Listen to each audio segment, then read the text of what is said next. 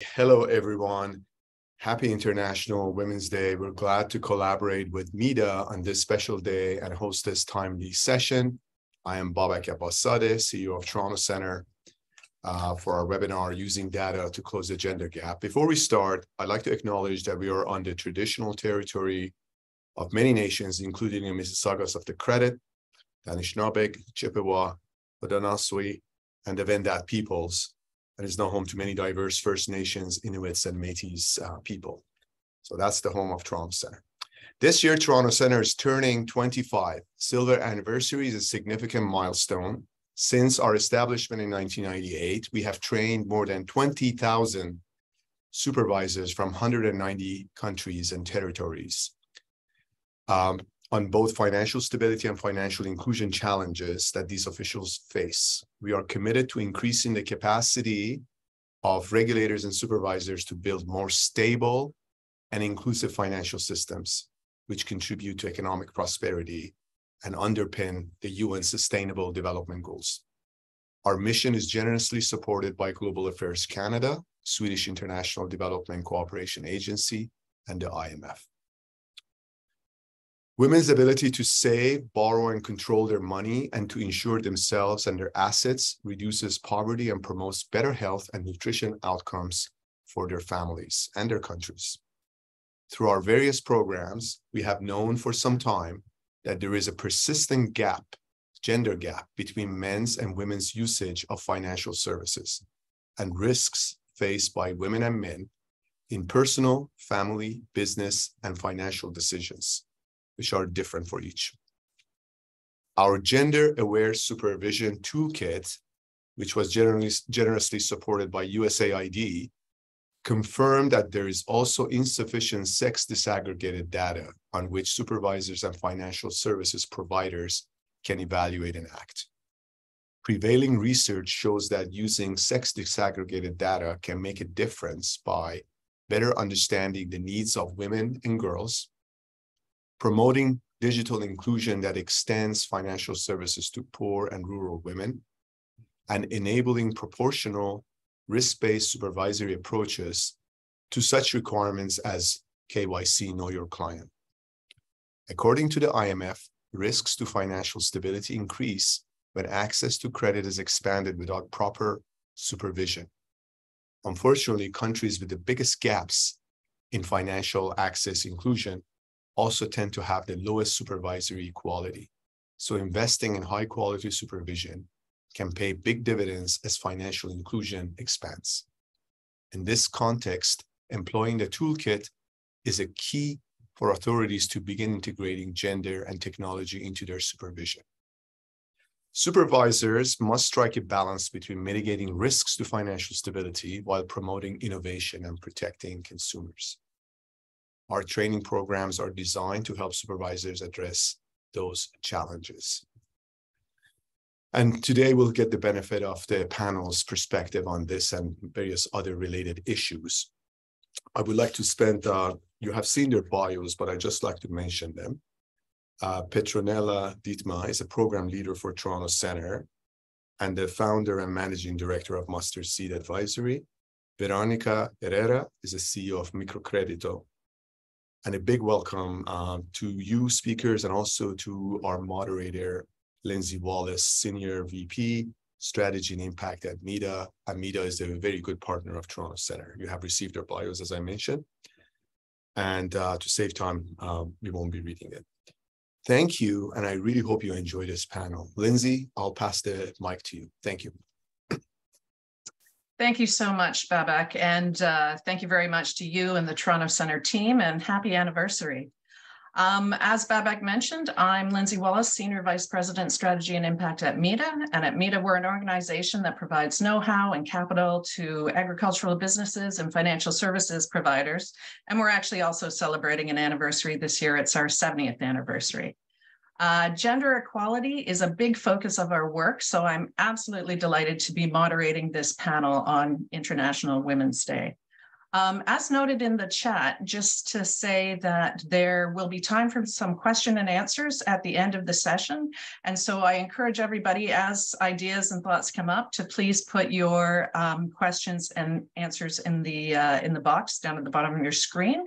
And as well, the panel will be simultaneously translated into French and Spanish. And so to access the translations, please just click the button at the bottom of the screen that has an interpretation. And just before we move to the panel, um, a couple of points on International Women's Day and the theme of digital innovation and technology for gender equality. Um, and Babak touched on a, a, few of these, but we do know how important digital innovation has been for the financial inclusion sector. But we know that there remains a significant gap, both a digital gap and a financial inclusion gap. And there's more that we can do to support women's digital financial inclusion.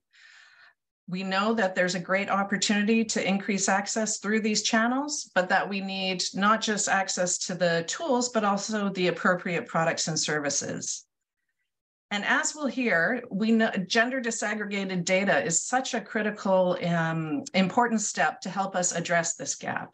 We know that when uh, supervisors and financial services providers gather and uh, collect and analyze gender disaggregated data, it can really help them to design new products and to really understand the nature and scale of financial inclusion in their countries.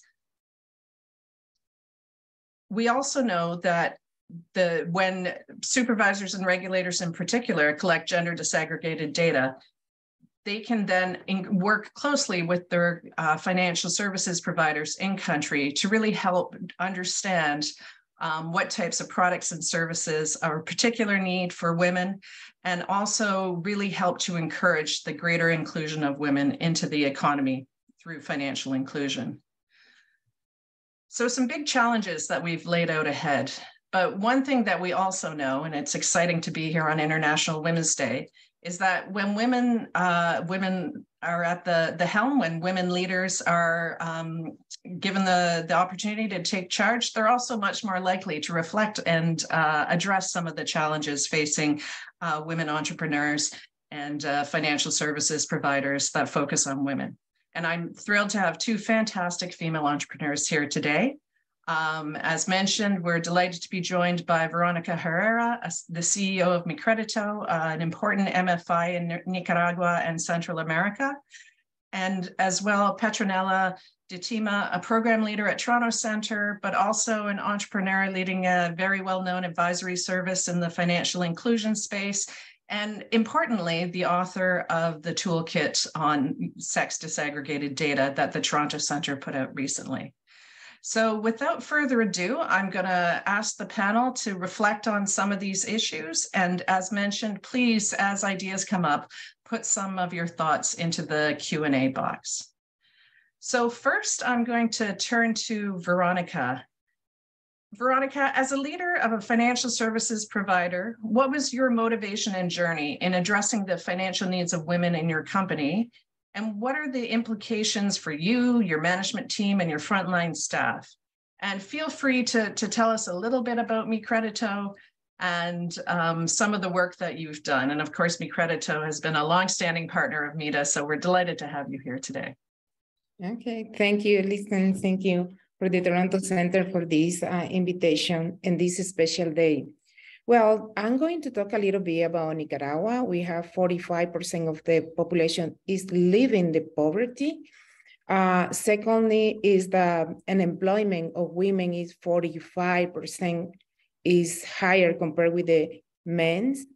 And a little bit about Mi.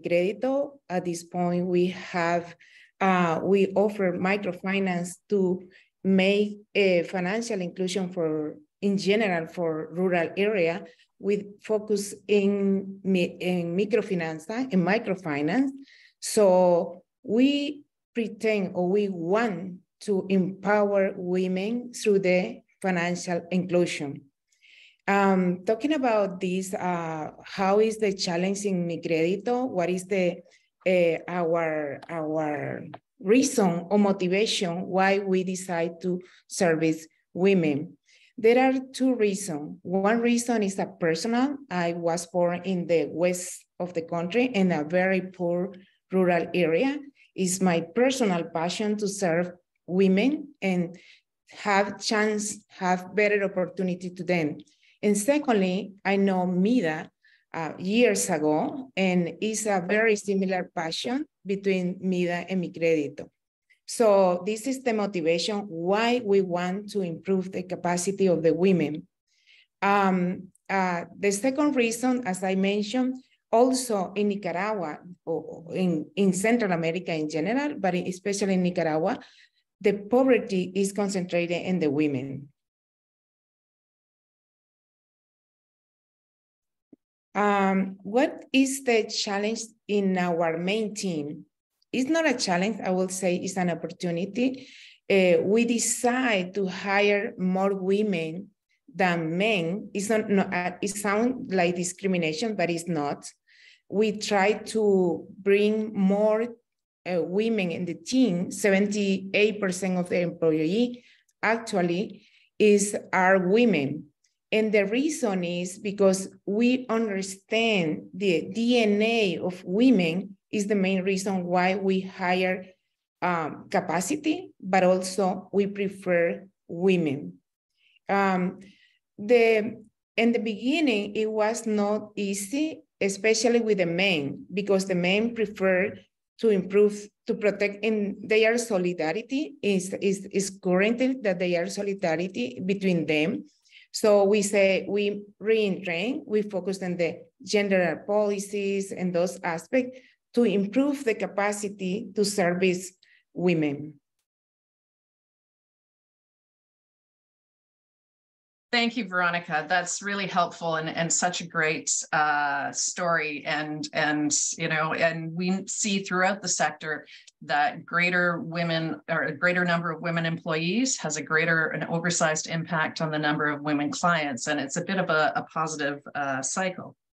Um, Petronella, turning to you, as a longtime expert in financial inclusion for women, can you tell us a little bit about your work in developing the Toronto Centre Gender Disaggregated Data Toolkit and some of the main takeaways uh, of the country pilots? Because I know there was a lot of theory behind it and a lot of uh, reflections, but you know, it's only once things get applied on the ground that you actually find out what's working, what's not working. So yeah, I'd love to hear more about, about what you've learned. Great. So we uh, thank you very much, Lindsay. And uh, we did this. Uh, we started off with before the toolkit. We actually did a study. So um, the study and there's a publication to it. And the study was really looking at the intersection between technology, gender, and um, uh, supervision and regulation. So as you can see, these are like three big topics on their own, like really looking at technology and how you can use technology to drive the women inclusion agenda but not only just do that, but drive it from a regulatory perspective. So it was really like layering a number of things together. And um, it was a very interesting uh, work that we did. And we did it in four countries. Um, you may be aware of this, Lindsay. We covered Kenya and Zambia, and we covered Colombia and Peru. And those were the pilot countries. So we set out to understand where they were. Uh, you kind of loaded it. So I'll go into the into the uh, what are some of the key takeaways. So what did we find out? Um, one of the findings was as Mr. Babak said right at the beginning, is that there isn't as much sex disaggregated data. And I think a lot of the participants will say, what? There's a lot. Yes, if you go to Findex, if you go to um, different sites, uh, FinScope in Africa, they're doing a lot of work around sex disaggregated data. But what we were looking for was a systematic way of collecting data, not by anybody else, but by the regulator where they're actually collecting it from the financial service providers. And they are not just collecting it, but they are analyzing it and using that sex disaggregated data to inform policy, one. Secondly, maybe to inform even the way they will do regulation and supervision. So I, I I think as, as the webinar continues, I will have a chance to explain what I mean by that. But let me give you another uh, takeaway. What did we find? We found out actually that there is a lot that's going on, maybe at the collection stage. So there is in some jurisdictions collection of data. So what was missing? What was missing was the analysis. In some countries, they actually said, the FSP said to us, we actually wonder because the regulator collects this information, but we never really get the feedback. We don't even know what they're using it for. So there's kind of like a black box. There's lots of information being collected, but maybe it's sitting somewhere in the regulator and they don't exactly see how this information is being utilized. So I've, I've gone like really um, high level. And I hope as the discussion continues, I'll be able to dig deeper into, into some of the discussions. Um, so I would highlight those two as what we actually found out. And then I can talk about takeaways and reflections later on, is, if that is fine. Over to you, Lindsay. Yeah, thank you so much, Petronella. I'm actually going to come back to you on that, though. Just saying, you know, you've got a very strong sense from both the supervisor's perspective, but also that very practical on the ground. How do FSPs and and you know financial service providers of all kinds actually leverage their data? And so what are what from what you've seen are the biggest opportunities for supervisors to leverage data for women's access to finance, building on the need for, for deeper analysis? Um, and, and what are some of the other um, challenges or, or barriers that, that you see? You know, I think it's it, your point about um, we do have the Findex and the FinScope, but of course those are, are big, you know, sample data sets it's a very different thing than a regulator saying, okay, what's actually happening here in financial inclusion in, in my country, and then making that a, a requirement as part of their supervisory duties. So yeah, just mm-hmm. a, a, little bit of a reflection on the opportunities, and again, thinking a little bit about some of the different countries. Um, was there any of the four that really stood out, or anything that that we could all learn from from some of the the countries that were pilots? So it was Thanks so much, Lindsay, for that. And um, th there were opportunities, definitely. And there were areas where we were like, oh, this could be taken to the next level. So I will explain two. The first one was a lot of data that was being collected on um, uh, access to credit, and it was actually sex disaggregated. So we were really excited. Yes, data is being collected, is sex disaggregated, but there wasn't uh, enough of okay, we have actually done this over the years, and we have realized that the FSPs are failing to reach more women because of this issue. And so let's find ways of resolving it. So we found that in one country, it was a Latin American country. But here's was the interesting, um, like almost proxy side of it, like the other side of the coin. There was one country where they said, we now know, and this was the regulator, we now know that women are actually failing to access financial services, particularly credit, because they don't have access to collateral. The unfortunate bit, or okay, I would say, yeah, they have that knowledge, but it didn't come out of data analytics. So we were saying, well, this would have been very interesting if the Latin American country was the one that is saying from the data analytics, we could actually see that women are not accessing credit because of lack of collateral. So I will explain what the African country did. They actually created um, a policy and an activity, a project where the regulator says, okay, let's look at um, movable securities registers. So let's look at an alternative way of making sure that the collateral that the women have, this, this movable assets can actually be collateralized. And they started working on that project. So beautiful example of responding to issues that are happening. And uh, that was really pleasing. The only thing we're saying to the regulator, you can do a lot more of that, where you're taking the data, and you're analyzing it. So one is the example that I could give as an opportunity. A lot of the FSPs are collecting complaints from their clients. Maybe the complaints even have something that says gender and they tick male, female. So if the FSPs can analyze that data by the sex and say, more women are complaining about this issue as opposed to men, or more men are complaining about this issue as opposed to women, then the regulator could actually collect that information, analyze it further, and go back to the FSPs and say, guys, can we do something about this? And maybe we make changes in this area. So this is just taking the complaints as one area where it's a low hanging fruit. A lot of the supervisors were already co collecting data.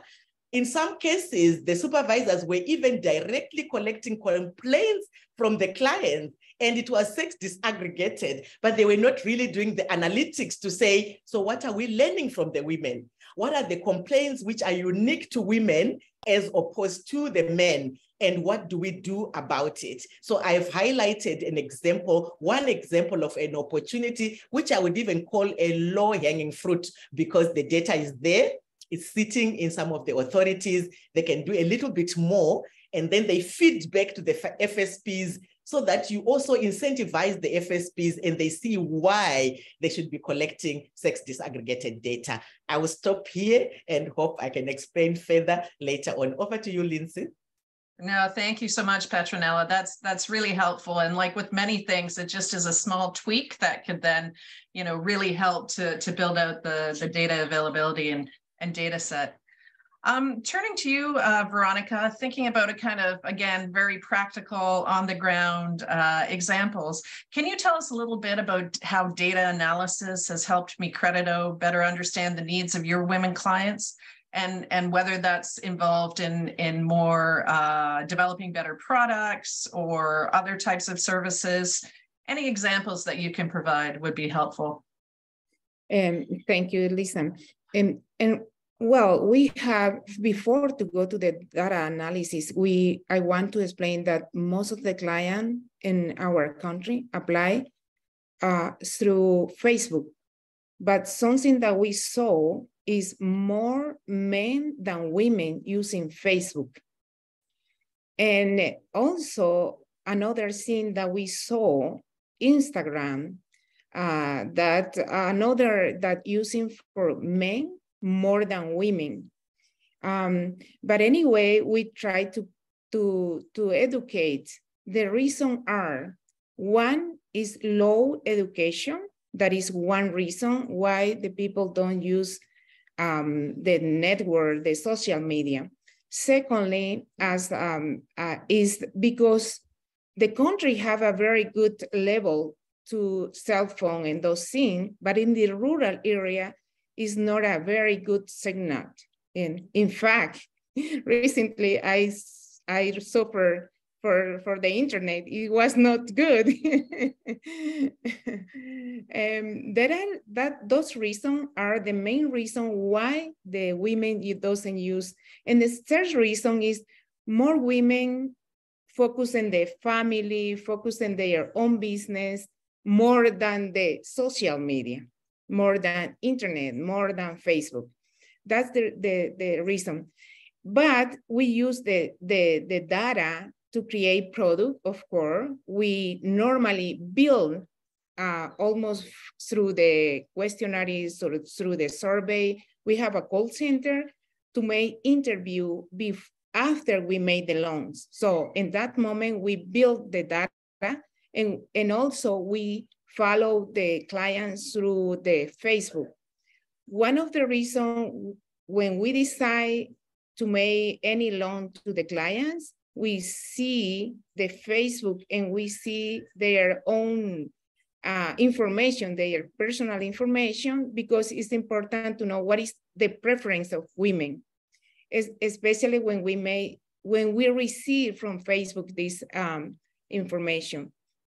Uh, Something that we learn with this data is reduce, one is reduce the cost because you, we don't spend a lot of time to see what is the necessity of the women. That one aspect. And the second aspect is, is, is short, is fast, is easy to, to see what the necessity of the women. One culture that we have here in Mi Crédito is design the product from the point of view of the client. And the data give this information. That is um, the, the, our support. But after the data, we make a short interview. We have another way, more than data, to design our product. I want to share a little bit uh, in a few, uh, in five minutes or not, no more one minute. We create a, a culture in Mi Crédito to design product from the point of view of the client, how we make an annual competition for all the employees, all the employees, and, and they, they go through the data trying to create this product. What kind of product the client um, need? Because this competition, at the end, there are a judge, see the product, explore the product, the product, and then we decide to, they have, the employees, have, we choose three winners. And they are exciting, but most of the information come from interview of the field and secondly for the data.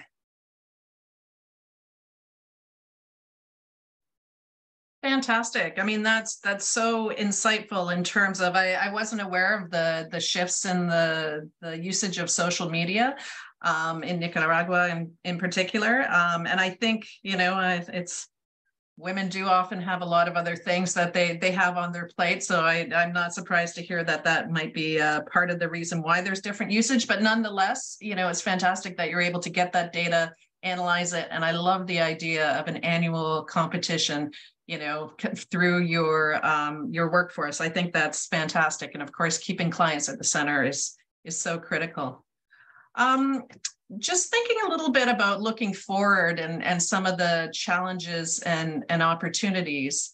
I'm just turning back to you, uh, Veronica. You know, just eh, so much about microfinance is not i mean it's it's the product it's the financial services provider and all the the plumbing which of course you know the folks that work with the toronto center and others are, are interested in but at the end of the day i know uh, importantly we really want to understand and think about impact. And so maybe if you could speak a little bit about, you know, what difference some of your strategies and approaches have made in the lives of your women customers. And, you know, what would you, we've got a, a, a lot of people from the financial inclusion sector on the um, webinar today, you know, just what recommendations do you have for others, you know, to serve women customers in a, in a better way?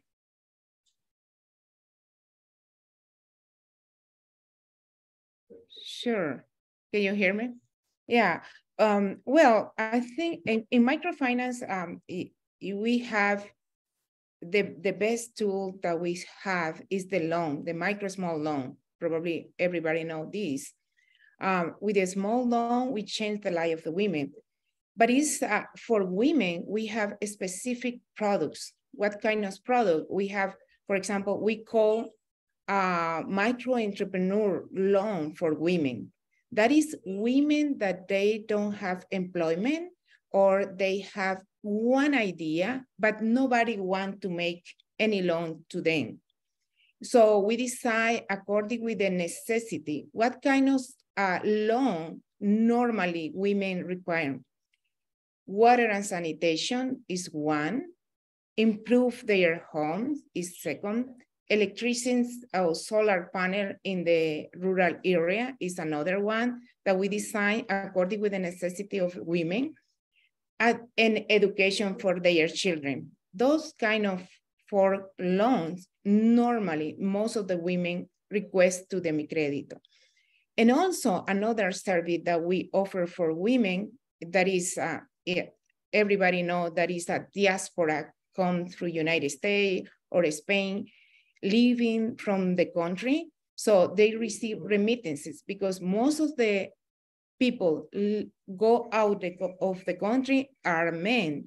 So women stay here, continue their life with their children, and they need receive remittances. That is another um, service. In the case of Costa Rica, that we have um, uh, branches there, they receive, we use the technology called to, um, is a SINPE. SINPE is the name to transfer from one cell phone to another cell phone.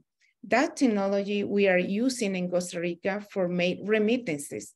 So we create that kind of product to facilitate women. Why? Because most of the women are in their own business, but at the same time, they take care of their children. They don't go outside. They are stay of the market or in their own house and they take their own business, but also they take care of their children. So they don't need, they, they need uh, to spend time from the field to another branches is, is heavy for them. So what that kind of product we create to facilitate women and their culture. Another thing that is I want to mention in microfinance that we see um, normally in the rural area, women ask permission to their husband. And we say, why women may ask for permission to make loan or any service to the microfinance. So it's a, it's a culture, it's a, it's a culture problem that we have. And that is, is a consequence to take independent decision. If women make the loans and invest in their own business without permission of their husband, they can continue uh, grow their, their business.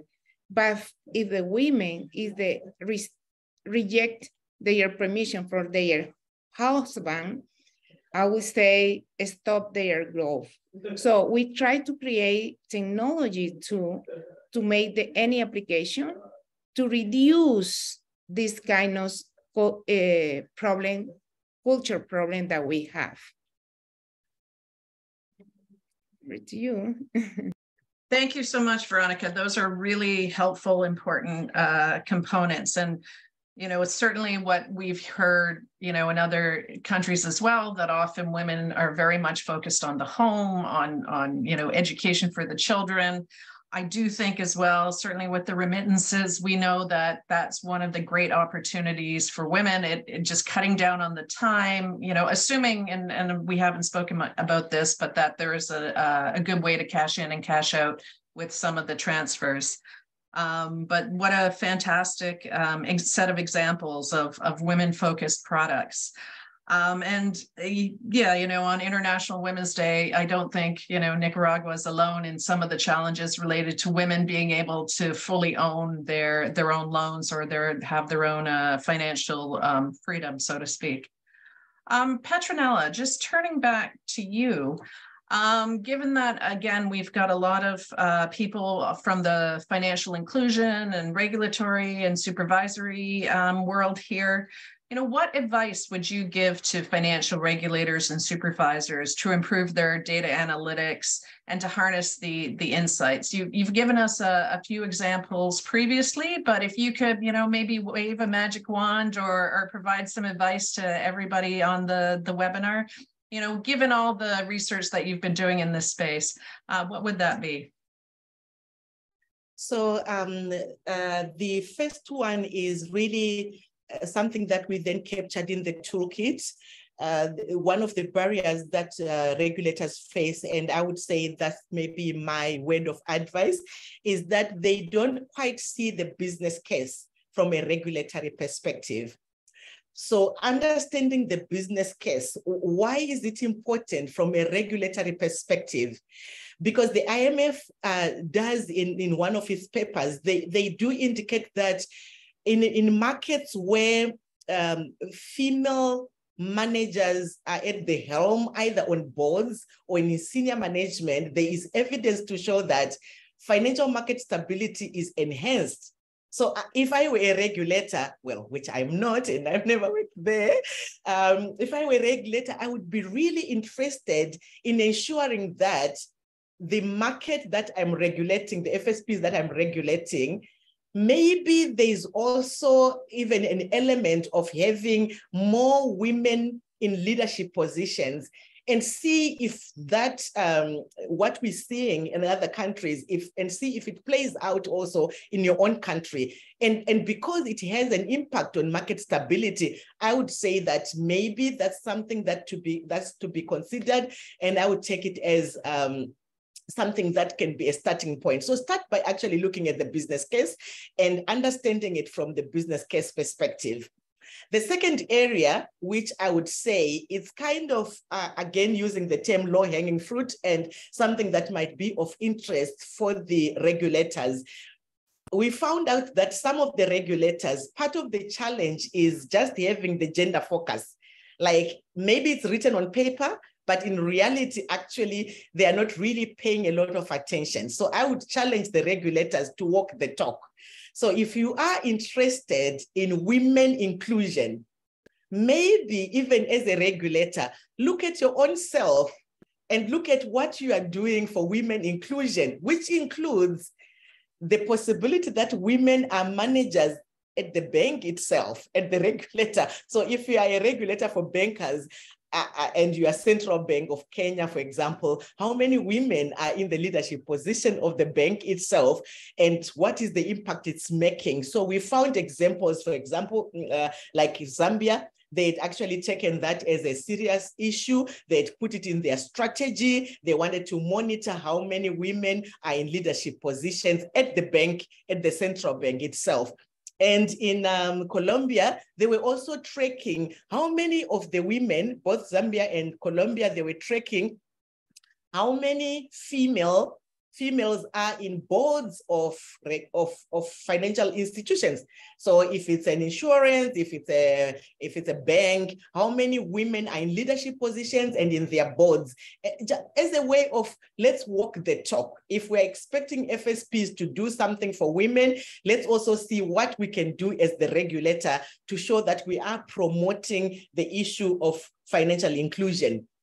The third aspect, and that will be my last one, which we saw as a real challenge, is that um, uh, regulators are trying to have a balance. And uh, you know, Babak referred to this in the opening remarks. How do you balance uh, financial inclusion and maybe areas of innovation around that versus you know, just market stability issues. So I, I think that's a, a, a, tough balance to maintain, and I would go back to the issue of the business case. If the regulator can find how paying attention to SDD, sex disaggregated data, how does that help me to be able to keep this balance? It, it, it will actually be one of the steps towards maintaining the balance. If you can see how the collection analysis and use of SDD is helping you in market stability and is helping you in, um, in other regulatory issues. Maybe from a risk-based perspective, you're going to focus a lot more on institutions that don't have many women on their boards as your starting point for risk-based supervision, maybe, maybe it's actually helping you in your supervisory work. And so if that happens, you are seeing the win-win in doing, in collecting and analyzing sex disaggregated data. Um, I think I've said a lot to challenge the financial regulators. I think they're gonna hammer me on the questions. Over to you, Lindsay.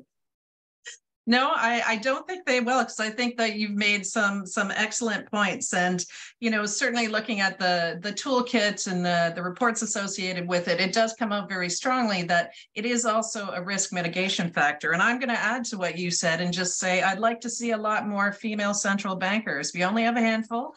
Um, you know, obviously the the US being a very important player um, so delighted to see that, but there's they're they're few and far between. And so when we do have women at that leadership role, we do naturally see a greater focus on this. It's not something strange or you know new that it's just you know I think women just tend to to think about these things um, just because it's very, very much natural. And that's also building on what Veronica said in the uh, financial services providers when they have you know, more women leaders or more women uh, credit officers, they get more women's clients. So it, it is a very much a win-win and, and lots of positive feedback. Um, so very excited to say we've got a number of questions in the um, Q&A and I'm just gonna start asking those out and um, Uh, we'll um, take it from there, but also I encourage everyone that's listening, if you have any other questions or anything that's come up, please uh, go ahead and put them in the Q&A box. So the first is from uh, Jose. Can you comment on what countries are the benchmark for sex disaggregated data? My understanding is that only Chile has been collecting this sort of data for the past 12 years. So Petronella, I think I'm gonna gonna pitch that one to you because you've been in the weeds of, of thinking this through from a global perspective. Thank you for that one, Lindsay. Um, and, yes, Chile is one of those countries, and we're looking at um, developing countries. So um, if you look at the countries that we're trying to do something uh, in terms of collection, I would say uh, Zambia goes in there as well. Um, Colombia goes in there. They were collecting a lot of uh, sex disaggregated data for credit, who is accessing credit and who is not. I mean, you know, is it women, is it men? So those were doing it. But in terms of benchmarks, you know, I, I wouldn't say we found, we came across a benchmark. I think people are at different stages. The regulators are at different stages of maturity. Uh, we do talk in the in the in the uh, in the publication. We do talk about a continuum that you know you can look at regulators as I think the end goal is to get them as champions of financial inclusion. Are they there yet? Maybe not. Uh, champions of financial inclusion for women let me add that. So are they there yet? Maybe not, but you see that they are on different stages of the continuum. So that's what we found that many of the countries are at different stages. So they are on the road, but they're not yet there. So I wouldn't talk of benchmarks as of now, but uh, those two countries that I gave had very good examples of sex disaggregated data and different authorities were doing different things with different um, I'll give one example uh, of, of Zambia. Uh, there were two different authorities, financial services regulating authorities that were doing, collecting data for different things. And I'll talk more about that later. I saw a question that is specifically about that. Over to you, Lindsay. Yeah, thank you so much. And, and this gets me to the to the next question from Carol. Um, have we seen any evidence of how supervisors have changed policy as a result of analyzing sex disaggregated data from FSPs? Um, I'm going to turn that one back to you, Petronella, but I'd also love Veronica to comment a little bit because um, the second part of the question is really about whether um, FSPs, um, if there's any consultation with FSPs as part of that process. And it'd be interesting to hear any reflections she has as an FSP on engagement with the the regulator and and where the the regulator and supervisor in in uh, Nicaragua or Costa Rica or the other countries in which MiCrédito works, whether there's any um, uh, reflections on on their engagement. So we'll do Petronella first, and then to Veronica. Uh, thank you. So, um, so the I will go back to the Zambia example. There were two authorities in Zambia. Uh, I will talk about the one of the authorities that was collecting data um, from the FSPs and the policy change that they made based on that data that they were collecting. They made a policy change which said when um, institutions are applying for licensing, they wanted to see how many women are in positions of leadership, either in senior management or at board level. So they made actually that change. They took it, they actually put it in the application form as a policy change to the application form.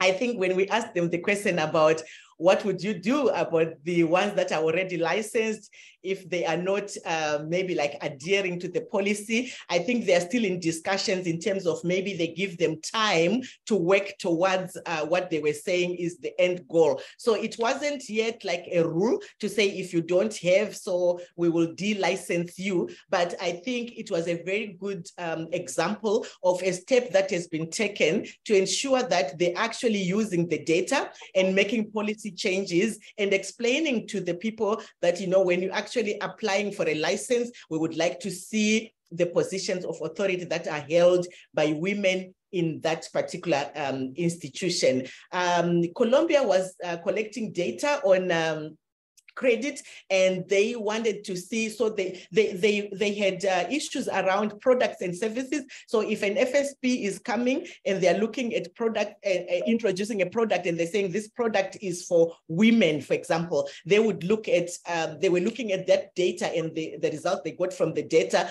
to influence um, the parameters that they would use to give a no objection to uh, products and services that would then be launched for women. So those were the two examples that we found. Maybe there are a lot more in the report, but those are the two that, uh, that come to mind right away. Over to you, Lindsay. Thank you so much. That that's really really helpful. And and just before I jump to uh, Veronica to talk about from the FSP perspective, um, Jose has just noted as well that Chile produces data on credit by type, uh, savings, and even interest rates. It has monthly data. So I think, you know, one of the fantastic things about the Toronto Centre is it's very much a platform for peer-to-peer -peer learning. So thank you very much, Jose. And, and I know others will, will look to the example of, uh, of Chile.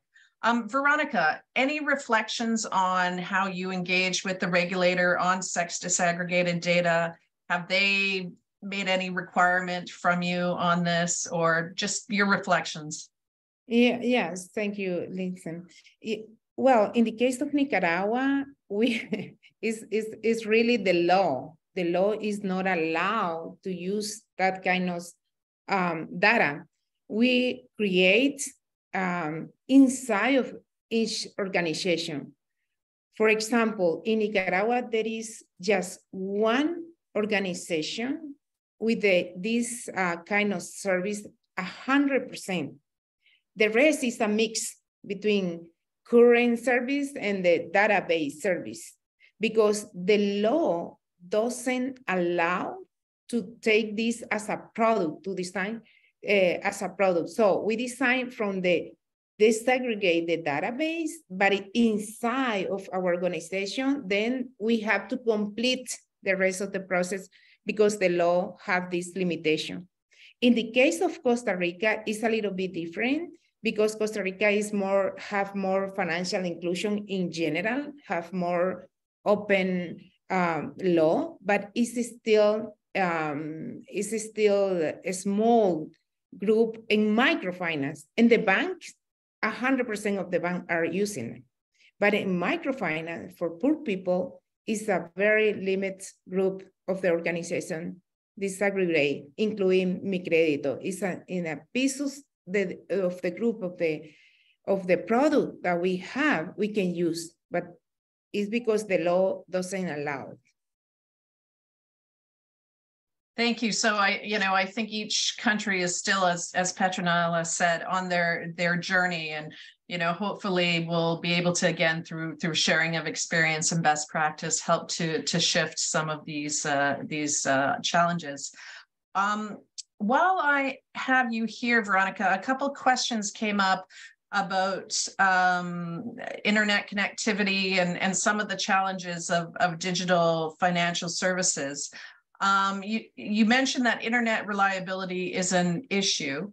Um, is access to a mobile device an issue as well for some of your clients in, uh, in the countries in which you work? And is access to a branch network important as well? You know, are you able to go mostly digital with some kind of cash in, cash out mechanism, or is, is the branch and, and your loan officers doing outreach still critical to your model? Well, the, the mobile phone is using, in, for example, the population of Nicaragua is 6.7 million. The mobile phone in Nicaragua is 7 million. So more mobile phone than, than population.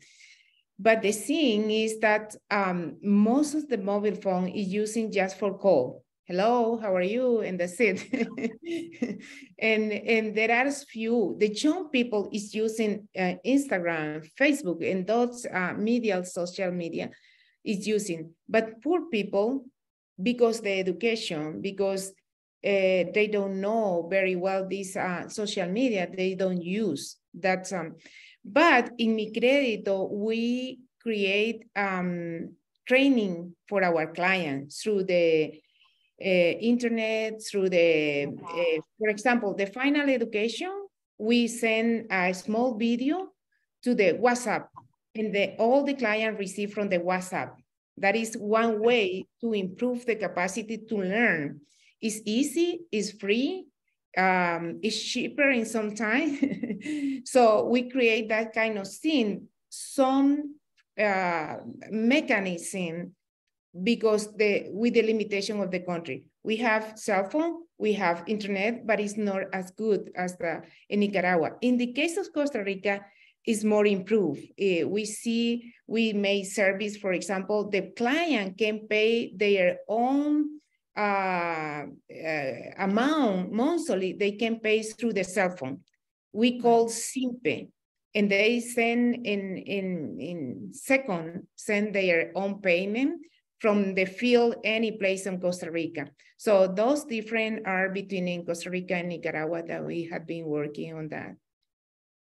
Thank you so much. Um, just jumping back to uh, Yasmin's question and picking up on something you said earlier, Petronella, um, just on, on the issue related to customer complaints.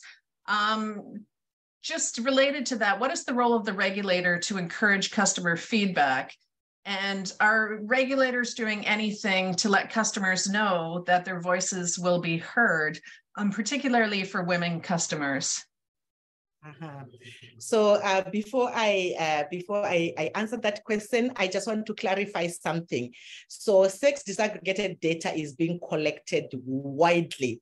Actually, there are lots of countries, even Peru, it was our, another country of study, Bangladesh, they're collecting the data. Our challenge was looking at it from the regulatory perspective.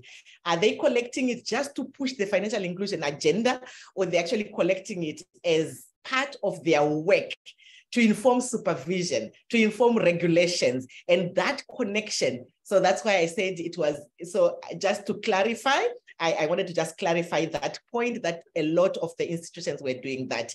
Now, back to your question, Lindsay, uh, is the question about uh, cu cu customer complaints. So we found that in some jurisdictions, the regulator plays a role in uh, collecting complaints and they actually make it public that the uh, the public can can actually complain. They, they have um, lines available, toll-free lines, and this was something that was happening. They were actually collecting um, complaints from the, from the customers. I'll give an example of what uh, Rwanda was doing uh, during COVID.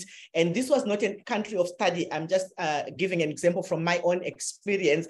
And they, what they did was they put champions into the villages. And these champions were actually talking about, you know, like young people who are working as champions and they're talking about financial literacy. And as part of that, they were also including, well, if you have gone to a financial service provider and you are not happy, please hear the numbers to complain. They would give uh, the information as to how do you can how do you even get in touch with the supervisor? Um, in in uh, another example i can't remember whether it was uh, zambia they were uh, on on tv uh, publicizing some were taking even advantage of the global money week to publicize. I know for example in zimbabwe they use the global money week to publicize how you can uh, complain so two areas of deficit. One is um, not necessarily does the media encourage women to complain. So I'll give an example of a woman who is a rural woman who is illiterate. So if you come up on TV and you flash the numbers and say, you can call us on these numbers, Maybe the women don't know about it because they don't watch TV. As Veronica said, they have lots of things that they are looking, uh, that they are handling responsibilities. They may not go on TV, they may not go on Facebook. So something that would need to be done is to really make sure that the authorities are looking at gender-friendly methods, women-friendly methods of data collection, women-friendly methods that will enable the women to complain. Women might want to just speak to a physical person. How does the regulator ensure that that can happen? Um, and then uh, I think the second part of the question was to do with, uh, is there any way of feedbacking? I think we found an example of one of the uh, jurisdictions where they were ensuring that there is feedback to the clients. And they also explained to us that even for the FSPs, they require the financial service providers to actually show that they gave feedback, they provided feedback to the client, and that's something that they, they emphasized. So there was a way of making sure that there's feedback to the customers. Um, those are the examples I can, I can give. Over to you, Lindsay. No, I think those those are great. And I'm just going to circle back with one other question, though, for you, Petronella, that came up. And um, it might be controversial given the, the crowd, but it's that financial regulators and supervisors are inherently risk averse. Um, is there a presumption that financial inclusion is risky in nature? And therefore, should we be um, having our financial inclusion uh, programs uh, being led or hosted by um, within regulatory institutions? Very interesting one. And I think AFI would be like, no, they have to do it. And a lot of the regulators I am familiar with, even the ones we spoke to, they were all driving the financial inclusion agenda. So I, I think that question of them driving the financial inclusion agenda I think by and large is sort of resolved. They, they fully understand the impact of financial inclusion from, uh, because they're the ones who are regulating this, the, the financial sector. If they are out of it and they are not really driving it, they'll probably undermine it. So I think they, they, they will undermine it unknowingly, if I may use that word, because they can come up with policies which will hinder financial inclusion. So it's really, I'm happy that we have pushed them back to where it belongs. They will struggle with it because it's actually creating this controversy. And I, I think I like it. In some countries, when this started, and I will speak for Zimbabwe, when the issue of financial inclusion being driven by central bank started, the central bank was seeing it as a peripheral issue and it has nothing to do with the main core mandate of the regulator. But over time, they've actually come to realize that is the front and center. Because if half of the population, 70% of the population is excluded you, you may even fail to have institutions to regulate because they won't be there because you don't have the population, they don't have the customers. So they, they actually, um, it, it, I would say it is an interesting uh, dichotomy, it's an interesting controversy and let it stay there and let them push it in the countries we spoke to they are now, I think, okay with that being part of their mandate. In fact, we did a mapping and it's in the report.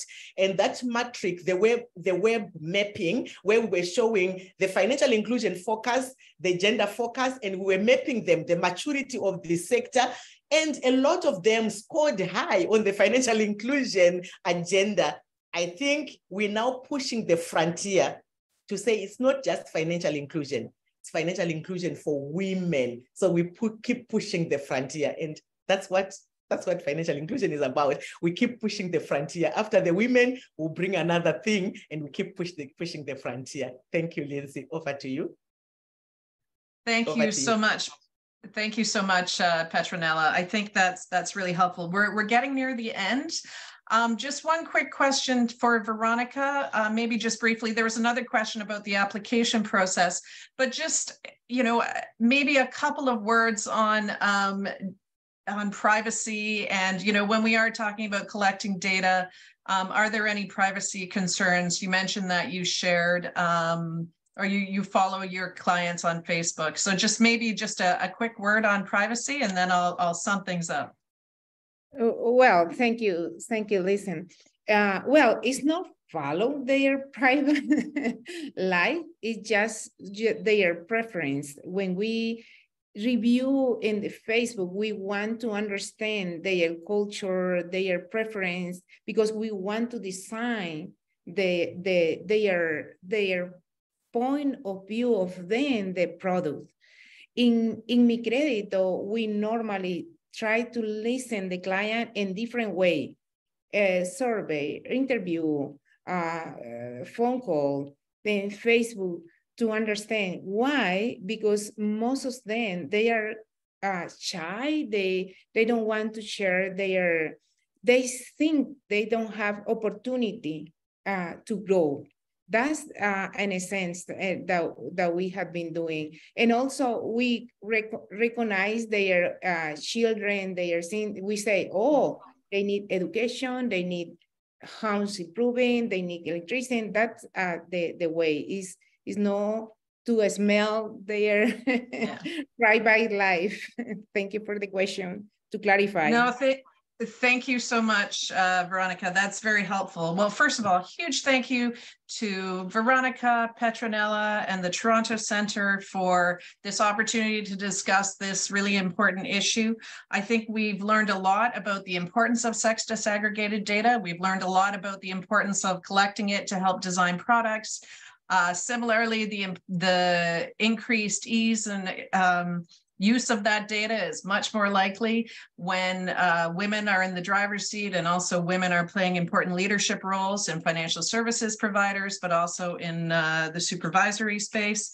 Um, I think one of the things that really resonated uh, with me as well was the the issue of win-win. You know, we maybe don't need to think of financial inclusion being contrary to uh, risk-based supervision. You know, it's it's an important element of it. And if we do look at the entire um, uh, clientele for for access to finance or in the financial sector. If we're not including women, then we're missing out and and not going to do as good a job, I think, as as uh, financial service providers, but also supervisors and regulators. And so with that, I just want to say big thank you to our panelists. And uh, yeah, I hope everybody has a fantastic rest of their International Women's Day. And it's been an honor to speak with you all today. Thank you so much.